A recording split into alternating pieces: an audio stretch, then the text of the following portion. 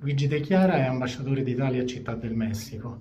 Nel corso dell'incontro con le multinazionali ha definito il programma un gioiello. Ci può dire qualcosa?